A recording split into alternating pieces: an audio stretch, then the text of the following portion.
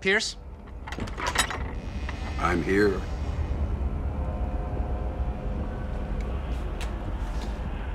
I need to know what you want to do next. So many things, David.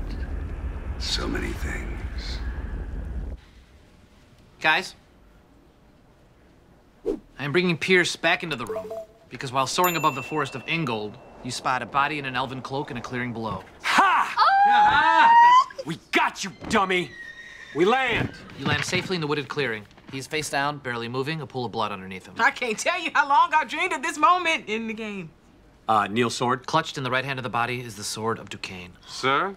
I believe this is yours. Thank you, Jeff. Once you get close enough to take the sword, you can see that this body, while definitely dying, is not Pierce. What? I turn it over. It's the gnome waiter from the tavern. What? No! Why? Goodbye, my friend.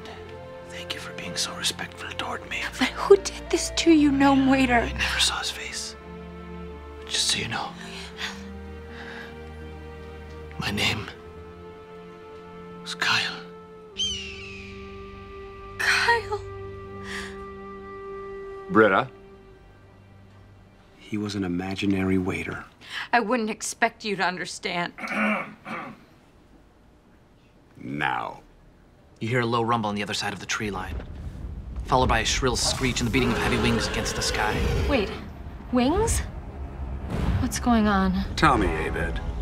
Are you familiar with the Amberg region of the Edelman River Basin? Of course I am. Then you'll know there's a reflecting pool with a very special amulet at the bottom of it.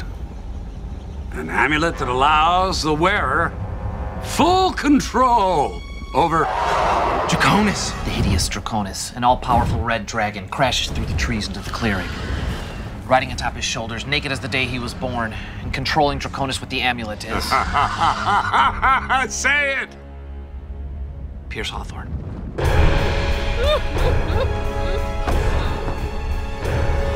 Scream when I told you to scream! Pierce Hawthorne is my master. Prepare to meet your doom. I run towards Pierce with my broadsword drawn, and I attack his Time stop!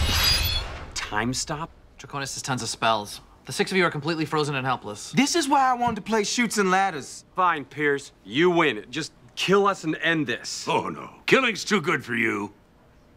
Cast shape change on Duquesne. What shape do you choose for him? Fat. Pierce, it! Pierce! Duquesne starts gaining weight. How much? Make him as fat as Fat Neil. Pierce! All right, cry. Let it out. Baste your chubby cheeks in tears of gravy. You weren't crying when you were stealing my friends. He asked me to come here. You know why, right? I've got some fat news for you, Fat Neil.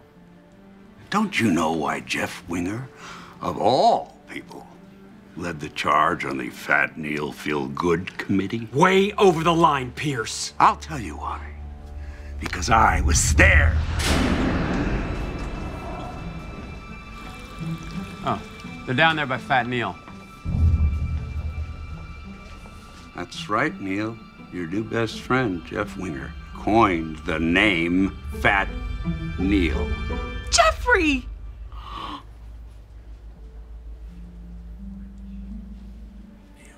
Look, before you respond, I can make it up to you. I'll find a fatter Neil.